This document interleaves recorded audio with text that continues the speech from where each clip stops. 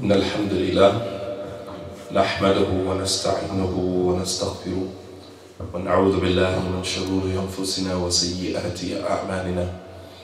من يهده الله فلا مضل له ومن يضلل فلا هادي له. وأشهد أن لا إله إلا الله وحده لا شريك له. وأشهد أن محمدا عبده ورسوله. The Prophet ﷺ, with his companions, he was never stingy with his praises of them. He was never stingy with his praises of them. We live in a time where we believe that, many believe, that your success is my failure. So that means that I have to kind of keep you at the bottom in order to keep myself at the top. And so we, we're very stingy when it comes to giving people praises, saying something nice about people. We always have negative things to say about people, and we need to remove that negativity from our circle. Because negativity, it breeds, it's a breeding ground for the shayateen evidenced by the hadith where the Prophet was sitting with Abu Bakr and a man came and insulted him. A man came to Abu Bakr and he began to insult Abu Bakr. And while he was insulting Abu Bakr, Abu Bakr never responded back to him. And the Prophet ﷺ sat there, yabtasim, smiling, amazed at the tolerance of Abu Bakr not to respond back. But then everybody has a threshold. And Abu Bakr couldn't take it anymore and he responded back to the individual. And the Prophet ﷺ got up and walked away. Abu Bakr chased him down and he asked him, he said, O Messenger of Allah, you sat there and smiled while the individual was insulting me. He said, فَلَمَّا رَدَدْتُ عَلَيْهِ قُمْتَ وَمَشِيتَ you got up and you walked away. When I responded back to him, you got up and you walked away. The Prophet ﷺ, he said, because when you were silent, not saying anything, لما كنت ساكتا لم ترد عليه جاءك ملك يدافع عنك فلما رددت عليه ذهب الملك وجاء الشيطان وأنا لا أجلس في مجلس فيه شيطان he said, because when you were silent and you didn't say anything back to the person, Allah subhanahu wa ta'ala sent an angel to you to defend you. So everything the individual was saying to you, the individual was, the, the angel was defending you. He said, but when you responded back to the individual, the angel left and the shaitan came and I got up and left because I don't sit in a gathering where they are shayateen. Showing you that when you have negative energy, it is a breeding ground for the shayateen.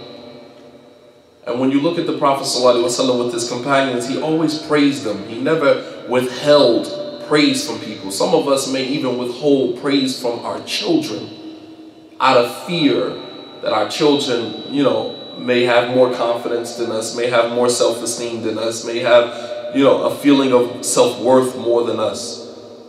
He said, فَقِي هَذِهِ الْأُمَّةِ مُعَاذ بن جبل the faqih or the person who knows about the halal and the haram of my ummah is Mu'adh bin Jabal.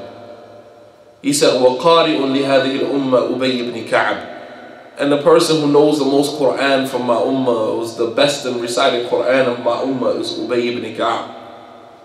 One day Mu'adh bin Jabal, he was climbing in the tree. And some of the Sahaba began to laugh at how skinny his legs were. And the Prophet ﷺ said, أَتَضْحَكُونَ مِنْ هَاتَيْنِ رِجْلَيْنِ Are you laughing at how little his legs are? He said, وَالَّذِي نَفْسِ بِيَدِي إِنَّ هَاتَيْنِ رِجْلَيْنِ أَثْقَلُ عِنْدَ الْمِيزَانِ يَوْمَ الْقِيَامَةِ مِنْ جَبَلِ أُحُدٍ He said, are you laughing at Mu'adh's skinny little legs? He said, I swear by the one in whose hands my soul is in, those two little legs are heavier in the scales on the day of judgment than the mountain of Uhud. His two little legs will be heavier in the scales on the day of judgment than the mountain of Uhud. I mean, he would praise his companions because leaders build leaders, not followers. Leaders build leaders, not followers. And when you look at the community of the Prophet ﷺ, this is what he was doing. He was building future leaders. Whereas today, we praise people very little because we want to build followers. We won't always want you to feel like you are never just good enough, right? I'm the best. You are never good enough. So you want to always be in my shadow as opposed to giving people their due of praise to make them, even if they don't necessarily deserve it, but to give them something to live up to. Give them an expectation to live up to. When you tell your child, I'm disappointed in you, I thought you were better than that. That's greater than you saying you ought to be ashamed of yourself. When you tell a child you ought to be ashamed of yourself, you've debased them, you've belittled them. But when you say, I thought you were better than that, that means that you put a higher expectation on the person and you make them feel like they didn't reach that expectation. It's psychology. It's, it's reverse psychology. And the Prophet ﷺ used to use the same thing with his companions. When Mu'adh bin Jabal anhu killed the man after he said La ilaha illallah, he said, Mu'adh, did you kill the man after he said La ilaha illallah? أقتلته بعد أن قال لا إله إلا الله did you kill him after he said La ilaha illallah? He didn't say astaghfirullah. you, you're gonna, you know, Allah's gonna punish you Yom He didn't want to take him, take everything away from him. Sometimes we strip a person of everything. You don't know how much people are working with. People may only have just a little bit. And then, you know, they make a mistake or they, they fall into a sin or they do something wrong and we strip them of every little bit that they have. He said, Mu'adh, he said, he said, you know, Usama, أقتلته بعدين قال لا, لا إله إلا الله. He said, Usama, did you kill the man after he said La ilaha illallah? He said, O Messenger of Allah, he only said it makhafa to safety. He only said it because he feared my sword. He knew I was getting ready to kill him. And the Prophet ﷺ, he said, أَشَقَقْتَ عَنْ صَدْرِي Did you open his heart to see whether he really believed? You judging people's intentions now? You know whether somebody really believes now? Not only did you kill him after he said La ilaha illallah, then you turn around and you're judging his intentions. He's giving he's giving Usama something. This was one of his younger companions, someone that he loved very dearly. Giving him something, not stripping him because of the mistake that he made, but giving him something, an expectation that he should have lived up to. He said, Did you open his heart to see whether he really believed or not? He said, what are you going to do about his statement, La ilaha illallah yawm al-qiyamah? But you look at it, he didn't strip him. He didn't make him feel like the worst. And this is something that, you know, we do to people. We strip people. As I said before, hurt people hurt people. When you are hurt, you hurt other people. Some of us are hurting from childhood. Things that we have never, you know, reconciled within ourselves from childhood and we come into adulthood and we're constantly coming in contact with people and we're hurting people that we come in contact with.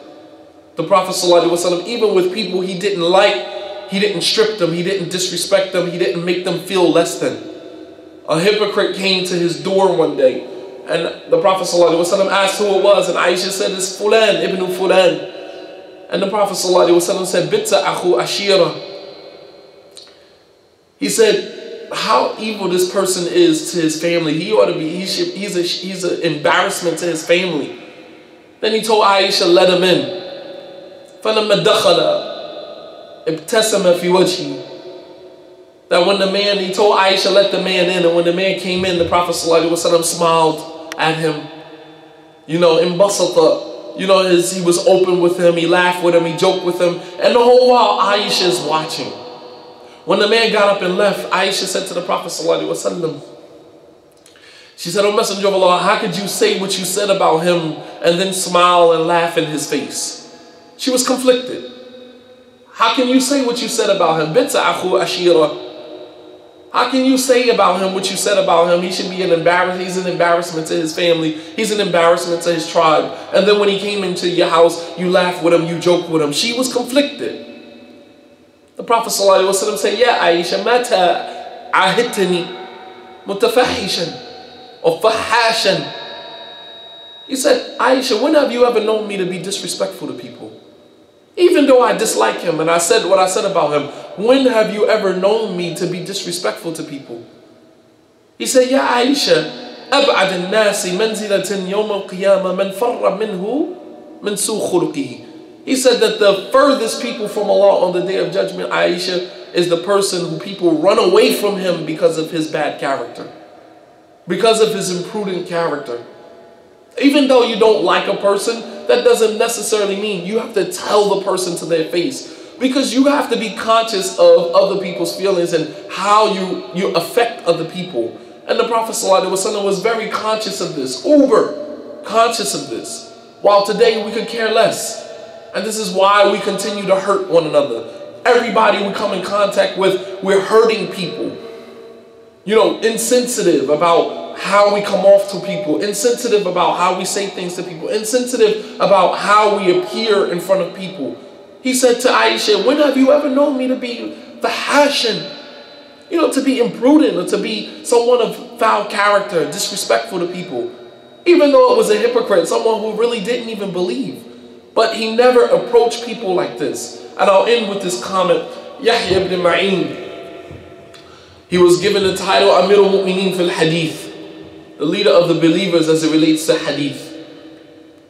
Yahya ibn Ma'in, he said, ما لاحظت خطأ على شخص He said, I never observed a mistake within an individual. And I wanted to expose that in front of people. I never observed a mistake in a person and I wanted to expose that. وَمَا أَظْهَرْتُ فِي وَجْهِ مَا يَقْرَى And I've never done anything in anyone's face that would hurt them or would offend them. He said, I would take the person by the hand. ويكون بيني وبينه نصيحة فإن قبل فالحمد لله وإلا فتركته he said that I would give the person nasiha, advice, just me and him. If he accepted the nasiha, then alhamdulillah. If he didn't, then I would just leave it. But I never approached him in his face and said something or did something, offended him in his face with something that, you know, he disliked. And this was along with the fact that I may have observed some mistakes within the individual. This is akhlaq, this is adab, this is you know, the etiquettes and the, you know, the qualities that we should be, you know, uh, observing and exercising with one another. And we, you know, we should learn how to reconcile whatever it is we, we're dealing with in our internal and not walk around as a ticking time bomb waiting for the wrong person to come in contact with us so that we can show another side of ourselves. You know, life is 90-10. 90% of, 10% uh, of what happens to you, 90% how you respond to it. You don't have control over what someone does to you, but you have control over how you approach someone else. You don't have control what other people do to you, but you do have control and you are responsible for what you do to other people. You know, and this is, you know, the character of the Prophet Sallallahu Alaihi Wasallam, always conscious about his approach towards people, always praising people and trying to build people up because leaders build leaders, not followers. And Allah subhanahu wa ta'ala knows best. وصلى الله على نبينا محمد وعلى آله وصحبه وسلم تسليما كثيرا وآخر دعوانا أن الحمد لله رب العالمين والسلام عليكم ورحمة الله